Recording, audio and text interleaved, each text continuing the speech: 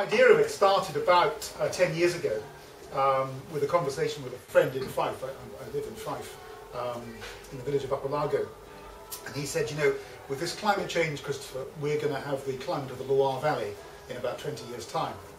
Um, so that just got me thinking, you know, and he said, buy, so plant your Sauvignon Blanc now.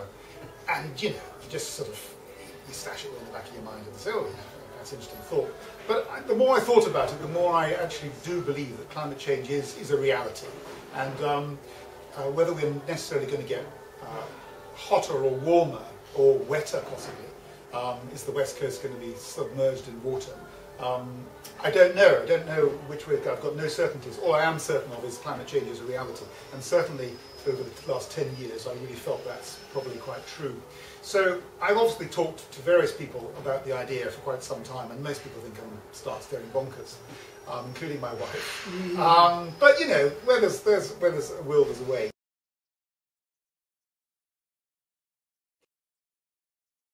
We thought we'd experiment with about 100 vines to start off with and just saw how that went. So I, I did some research. I got hold of a, a wonderfully named um, chap called John Buchan, uh, which you won't forget in a hurry. Um, those of you know anything about Scottish literature, um, or not. Um, and John is, uh, when I made my notes, I was trying to think um, what his title is, what he actually does do. But he, he's, a, he's a, an expert in, in vine culture, if, if you like. So he advised me on varieties, um, the soil, we had it tested, um, and so on and so forth. So that's really um, how we started off. And he suggested uh, three different varieties, uh, all of which they have in common is that they are early ripening, which we felt in Scotland was probably quite important. So they're called, um, I can't even read them out, Rondo, Siegerrebe and Solaris, which is varieties I've never heard of. Um, I bought them through a vineyard in Yorkshire, who actually have uh, award-winning wines. They started making wine about three years ago. They've already won awards for their wines using this great variety, or these great varieties, a blend of the two, three.